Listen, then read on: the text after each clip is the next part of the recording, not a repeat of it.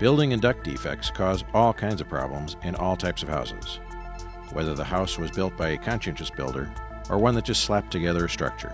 All are affected, and it doesn't matter if it is tract housing or a McMansion. Defects cause problems related to sustainability, how durable or long lasting the building is, indoor environment, are the occupants safe from contaminants and hazardous materials, and energy efficiency, can the occupants heat and cool their house affordably? Diagnostic tools are used by auditors, performance contractors, and others to identify and quantify these problems. For houses, a blower door is used to pressurize or depressurize a house. The graphic shows what happens when a blower door is turned on. All the leaks in the structure can be easily found.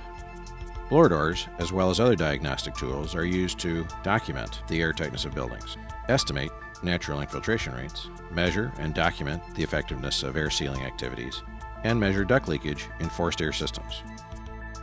The tools used are the Minneapolis blower door and the Minneapolis duct blaster. The duct blaster, when combined with a theatrical fogger, can help to visualize all sorts of problems in ductwork.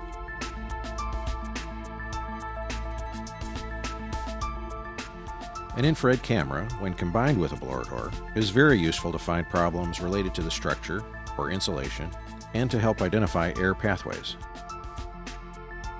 It takes just a few minutes to assemble the frame and panel and place it in the door.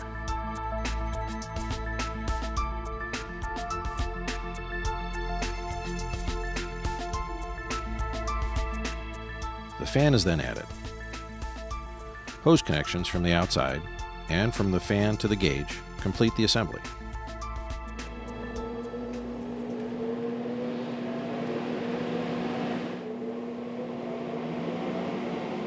Leakage values are displayed on the gauge as the house is pressurized to 50 pascals. To measure duct leakage, the auditor goes through a similar process of connecting the duct blaster to the HVAC system. Leakage is determined when we reach 25 pascals. In the beginning, we showed you some common problems.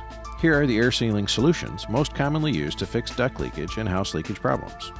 Duct leakage in the trunk is sealed by using duct mastic. Boot connections are sealed with mastic and caulk.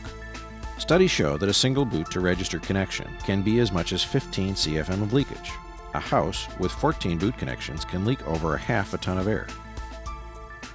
A hole in the floor above a crawl space that leads to the kitchen cabinets is plugged and sealed. This tub enclosure is actually a return plenum for the air conditioning system that is open to the house. In addition, there is a leak to the interior stud wall that leads to the attic.